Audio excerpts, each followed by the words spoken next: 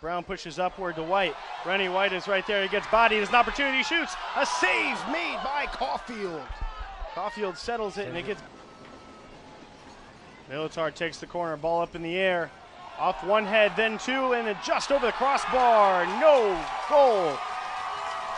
But uh, between McVeigh and Stotts, as that shot is on and off the crossbar. That's the best chance they.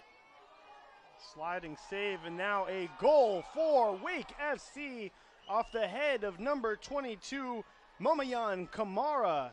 And it is a 1 Happy nothing. uh, A good forward. behind. Travis Cook has a chance and slid out of play. Great defensive effort by Side. Here's a cross. Crosses up. Off the head of Travis Cook and out of play again.